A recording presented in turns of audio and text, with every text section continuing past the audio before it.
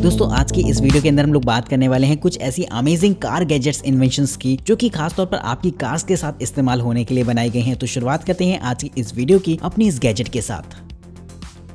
Number 11 हिल suit अगर आप भी अपनी कार को ओपन एरिया में पार्क करते हैं तो ये चीज़ आपको काफ़ी इंटरेस्टिंग लगने वाली है। क्योंकि दोस्तों, अक्सर ऐसा देखा जाता है कि आप अपनी कार को जहाँ पर पार्क करते हैं, वहाँ पर बहुत सारे लोग बॉल वगैरह अक्सर आपकी गाड़ी पर मार देते हैं, जिससे की कार के ग्लास टूटने का खतरा बना रहता है। और दोस्तों, अगर आपके कार में सनरूफ है तो आपको और भी ज़्यादा दिक्कत रहती होगी, क्योंकि अगर ऊंचाई से कोई चीज़ गिरेगी तो वो आपकी कार के ग्लास को अफेक्ट कर सकती है, जिससे बचने के लिए ये चीज़ काफ़ी कमाल की रहेगी। ये दोस्तों, एक तरीके का ऐसा कवर होता है, जिसे की आपको अपनी कार के ऊपर डालना होगा, और जैसे ही आप इसके इन्फ्लेटर को ऑन करते हैं तो ये पूरा कवर एकदम फूल जाता है। जिससे कि अगर कोई भी चीज़ ऊंचाई से गिरती है या फिर ग्लास पर कुछ चीज़ लगती है तो इस पर कोई भी असर नहीं होने वाला इसका। तो दोस्तों कार को जो लोग ओपन एरियाज़ में पार करते हैं तो उनके लिए चीज़ बहुत ही कमाल की रहेगी, जिससे की उनकी कार काफ़ी हद तक सेफ़ एंड सिक्योर रहेगी। तो इस तरीके का सिस्टम काफ़ी ज़्यादा पॉपुलर होने वाला है इंडिया के अंदर, क्योंकि हमें से बहुत से लोग अपनी कार को ओपन स्पेस में ही पार्क करते हैं।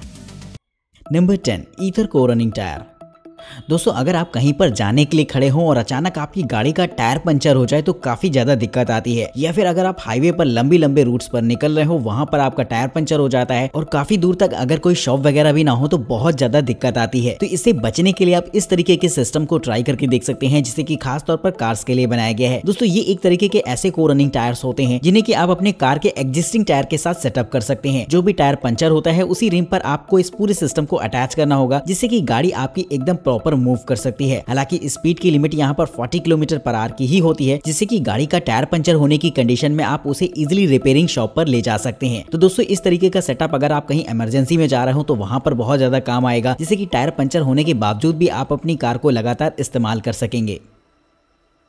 Number nine cyber clean car दोस्तों, कार के अंदर बहुत सारी ऐसी छोटी छोटी जगह होती हैं, एसी डक्ट्स वगैरह होते हैं, जहाँ से धूल मिट्टी को साफ़ करना बहुत मुश्किल हो जाता है। और ये प्रॉब्लम अक्सर देखी जाती है, आप कितना भी वैक्यूम क्लीनर का इस्तेमाल क्यों ना कर लें, लेकिन ऐसी जगह जहाँ पर उंगली का भी जाना मुश्किल है, वहाँ पर धूल मिट्टी को साफ़ करना बहुत मुश्किल होता है। तो दोस्तों, ऐसी जगहों के लिए खासतौर पर बनाया गया है इस तरीके के गैजेट को, जो की खासतौर पर कार क्लीनर की तरह आपके लिए काम करेगा। ये एक तरीके की जेली टाइप की होती है, जिसे की आप कहीं भी इस्तेमाल कर सकते हैं धूल मिट्टी को साफ़ करने के लिए। जैसे की अगर आप अपनी कार का एसी डक्ट साफ़ करना चाहते हैं तो जैसे ही आप उसे उस पर लगाएँगे तो इसकी जेली एसी डक्ट के अंदर जाकर भी उससे धूल मिट्टी को बाहर निकाल कर लाएगी, जो कि साफ़ सफ़ाई में एक अच्छा रोल प्ले करेगा। वही दोस्तों, इस तरीके की चीज़ का इस्तेमाल न सिर्फ़ आप अपनी कार को साफ़ करने के लिए कर सकते हैं, बल्कि आपने अगर अपने कंप्यूटर कीबोर्ड पर नज़र डाली हो तो वहाँ पर भी कीज के बीच में अक्सर धूल जमा हो जाती है जिसे की कपड़े से साफ़ करना बहुत मुश्किल होता है। तो वहाँ पर भी इस तरीके का क्लीनर आपकी काफ़ी मदद करेगा। वही दोस्तों, इसका प्राइस भी बेहद कम होता है तो अगर आप इसकी प्राइसिंग जानना चाहते हैं तो उसकी लिंक आपको डिस्क्रिप्शन बॉक्स में देखने को मिल जाएँगे।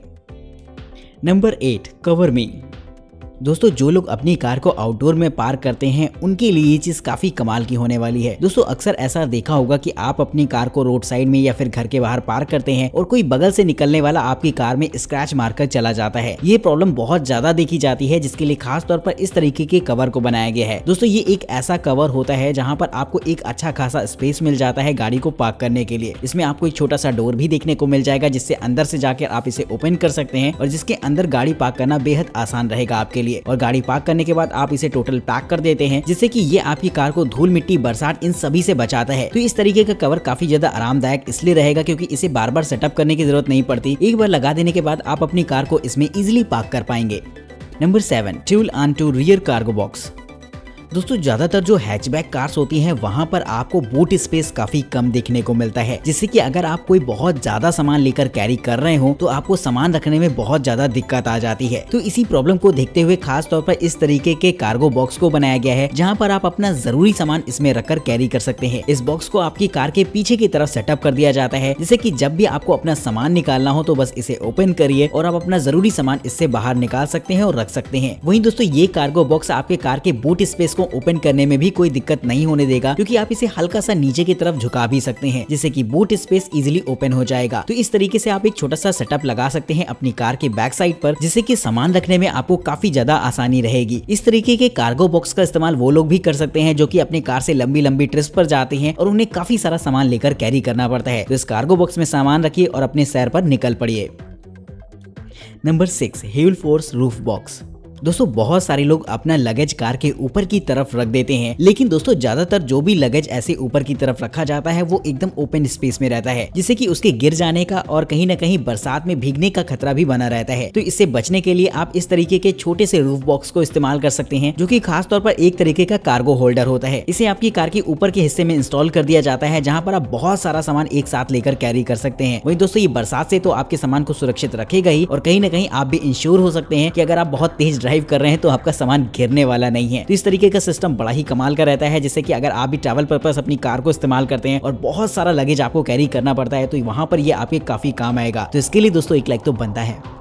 नंबर फाइव हाउल वेलो स्पेस दोस्तों, अगर आप कार से कहीं लंबी ट्रिप पर ट्रैवल कर रहे हो तो अक्सर हमारे पास ऐसा लगेज होता है, जिसे कि हम कार के अंदर लेकर कैरी नहीं कर सकते। अगर आप कैंपिंग पर जा रहे हैं और अपने साथ बाइसिकल जैसी किसी चीज़ को कैरी कर रहे हैं तो उसे आप अपनी कार में लेकर तो बिल्कुल नहीं चल पाएँगे। तो ऐसी चीज़ को साथ में लेकर ट्रैवल करने के लिए आप इस्तेमाल कर सकते हैं इस तरीके के सिस्टम को, जो की खास तौर पर बाइसिकल वगैरह को साथ में लेकर ट्रैवल करने के लिए बनाया गया है। इसकी खास बात ये रहती है की ये आपकी कार के पीछे की तरफ़ इंस्टॉल कर दिया जाता है, जिसका इंस्टॉलेशन भी बेहद आसान रहेगा, जिसमें आप एक साथ दो बाइसिकल्स को खड़ा कर सकते हैं और इसे कहीं भी भी ले जा सकते हैं, जो कि काफ़ी ज़्यादा बेहतर रहेगा। सेफ्टी के लिए यहाँ पर आपको एडवांस लॉकिंग मैकेनिज्म भी दे रखा होता है, जिससे कि कार के साथ आप पूरे सिस्टम को लॉक कर सकते हैं, जिससे कि सेफ्टी को लेकर भी कोई दिक्कत न हो। वहीं अगर आप अपने कार का बूट स्पेस ओपन करना चाहते हैं तो बस इसे हल्का सा नीचे की तरफ़ झुकाइए और आप अपने कार का बूट स्पेस भी एक्सेस कर पाएँगे। तो ये चीज़ बड़ी ही कमाल की रहती है, जो लोग कैंपिंग वगैरह पर जाते हैं या फिर एडवेंचर ट्रिप पर जाते हैं तो उनके लिए ये चीज़ काफ़ी ज़्यादा मज़ेदार इसलिए रहेगी कि वो अपने साथ बाइसिकल को कैरी कर सकते हैं।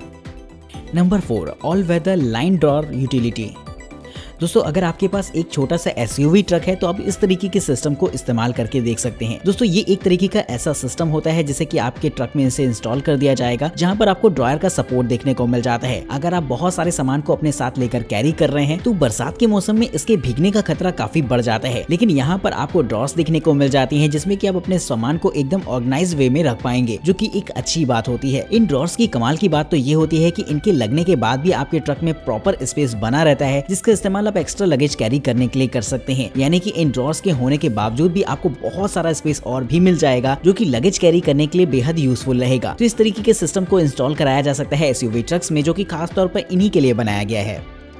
नंबर थर्ड मड रैम्स दोस्तों, आजकल सामान पहुँचाने के लिए एसयूवी ट्रक का इस्तेमाल काफ़ी ज़्यादा किया जा रहा है, क्योंकि ये लो मेंटेनेंस कॉस्ट करते हैं। लेकिन दोस्तों एसयूवी ट्रक्स में सामान चढ़ाना, उतारना बहुत ज़्यादा मुश्किल इसलिए हो जाता है, क्योंकि इनकी हाइट काफ़ी ज़्यादा होती है, जहाँ पर अगर आपको किसी ऑफ़ रोड व्हीकल या फिर इसी तरीके की किसी मोटर वगैरह को चढ़ाना है तो बहुत ज़्यादा दिक्कत आ जाती है। तो इसके लिए आपको ज़रूरत होती है एक तरीके की राम की, जिससे की आप ये काम आसानी से कर पाए। तो दोस्तों, अगर आप भी एक एसयूवी ट्रक ओनर है तो इस तरीके के सिस्टम को इंस्टॉल करवा सकते हैं अपने व्हीकल में, जो की आसानी से आपके चीज़ों और सामान को चढ़ाने उतारने का काम करवा देगा। इसकी खास बात ये रहती है कि नॉर्मली तो ये फोल्ड हो जाता है, लेकिन जब भी आप इन्हें इस्तेमाल करना चाहें तो इन रैम्स को ओपन कर सकते हैं, जिससे कि किसी भी तरीके की मशीनरी जैसी चीज़ को ऊपर चढ़ाया जा सकता है इसके सहारे पर। तो दोस्तों, काफ़ी यूजफुल रहता है ये सिस्टम जो की सामान चढ़ाने उतारने का काम बड़ी आसानी से करवा सकता है आपके लिए।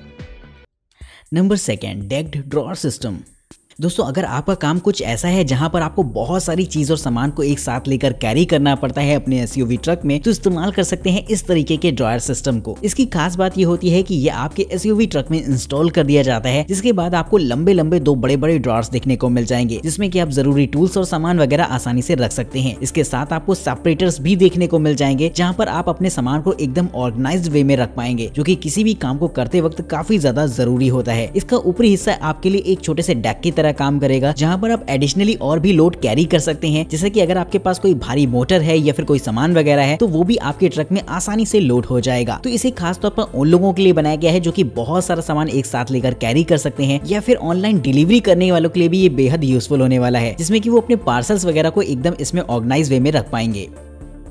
Number one portable pet two step dog step दोस्तों नॉर्मली एस वगैरह काफ़ी ज़्यादा हाइट पर रहती हैं, जिन पर चढ़ना उतरना थोड़ा सा मुश्किल होता है। लेकिन जब बात पेट्स की आती है तो उनके लिए ये चीज़ तो और भी ज़्यादा मुश्किल हो जाती है। तो इसके लिए इस तरीके के सिस्टम को ट्राई किया जा सकता है, जिसे की आपकी कार के बैक पर इंस्टॉल कर दिया जाता है। ये खास तौर पर एक तरीके का स्टेप होता है, जो की आपकी कार तक पहुँचने के लिए एक छोटी सी सीढ़ी की तरह काम करेगा। जिससे की अगर आप अपने पेट्स के साथ सफ़र कर रहे हैं तो वो कार के अंदर बड़ी ही आसानी से चढ़ सकता है। तो ये चीज़ खास तौर पर पेट्स के लिए बनाई गई है, जो की उनके कार में चढ़ने उतरने को और भी ज़्यादा ज़्यादा आसान बना देती है। तो कमेंट करके बताएगा कि आपको ये गैजेट कैसा लगा है। वही इस वीडियो सीरीज़ का सबसे बेहतरीन गैजेट आपके हिसाब से कौन सा रहा है, ये बात भी आप हमें कमेंट करके बता सकते हैं। आज की इस वीडियो में इतना ही। चैनल को सब्सक्राइब करेगा वीडियो पसंद आई हो तो लाइक करना बिल्कुल मत भूलेगा वीडियो में दिखाएगा किसी भी गैजेट के बारे में अगर आप और भी ज़्यादा इन्फॉर्मेशन चाहते हैं या फिर उसे खरीदना चाहते हैं तो उनके लिंक्स आपको डिस्क्रिप्शन बॉक्स में देखने को मिल जाएँगे। तब तक नमस्कार दोस्तों। जय हिंद।